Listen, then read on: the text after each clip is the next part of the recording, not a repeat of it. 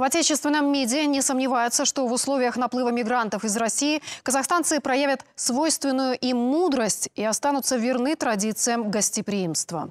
Но вместе с тем в министерстве заявили, что граждане любой страны не имеют права нарушать установленные сроки пребывания на территории республики и обязаны соблюдать требования миграционного законодательства нашей страны. Говоря о том, что со своей стороны МИД держит ситуацию под своим полным контролем, дипломаты призвали сограждан доверять только официальной и объективной информации. Это поможет избежать ненужных спекуляций.